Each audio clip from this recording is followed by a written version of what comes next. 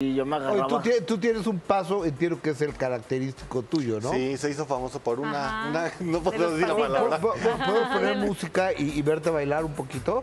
Sí, me Ay, podían sí, poner sí. música. Oye, A pues sí, ver, porque le el agarró baile. la onda rápido. Pero dale, dale el paso que es famoso, el de una.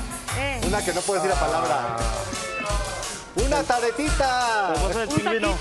El pingüino. El, el del caballo, ¿cómo era? Caballo. Eh, eh, eh, eh, eh, eh, eh, eh, eh, eh. Y ahora el famoso, el que hizo famoso viral en TikTok. Una taquetita medio metro. Jurado. eso era tu idea o, o tuvo que ver el grupo La Sonidera con quien estabas? No, pues la verdad yo saqué unos pasos míos. Ajá. La verdad yo saqué unos pasos. El de la chaquetita me lo dijo mi jefe que se llama Leo. Ajá. Me lo dijo él, la chaquetita y el del pingüino también. Y el del beso corazón me lo dijo uno que le dice ñoño. ¿Cuál, beso corazón como vacío. El que va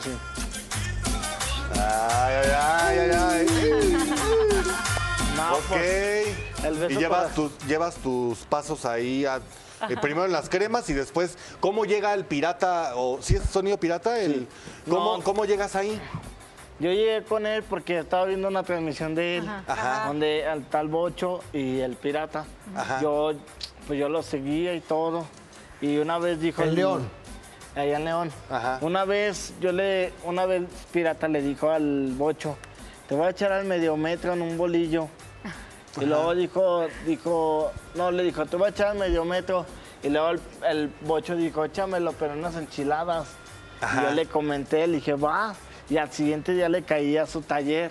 Y órale, Y le marcó el pirata al Bocho y ahí es donde ya se armó. Me Armó la encanta el pirata, el Pero bocho, oye,